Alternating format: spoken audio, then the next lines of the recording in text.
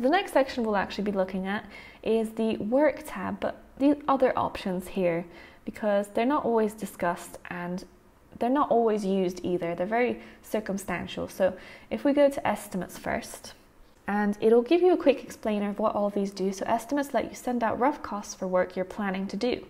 And these are actually quite handy because you can create an estimate and you can send it over to your client to agree to that estimate. And once they do, you can convert the estimate into an invoice. So you don't have to create an invoice in addition to the estimate.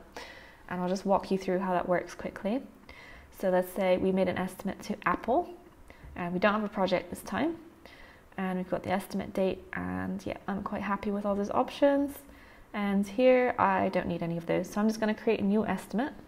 And here is our estimate template. You can see it says estimate 001.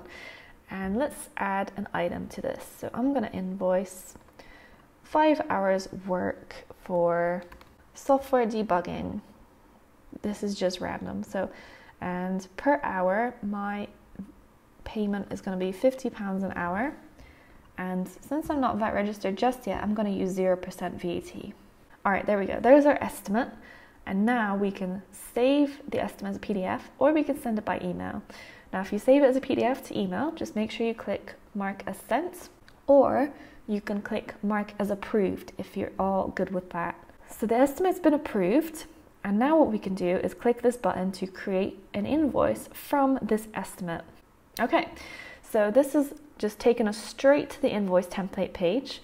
It's automatically added in the estimate details that we had before. And this invoice can now be sent to a client and it'll have the exact details that you want on here. So that's where estimates can be quite handy, but you don't have to use them if you're not planning to actually create any estimates. If your if your services are quite straightforward and there's no need for estimates, then there's no need to use the estimate option on FreeAgent.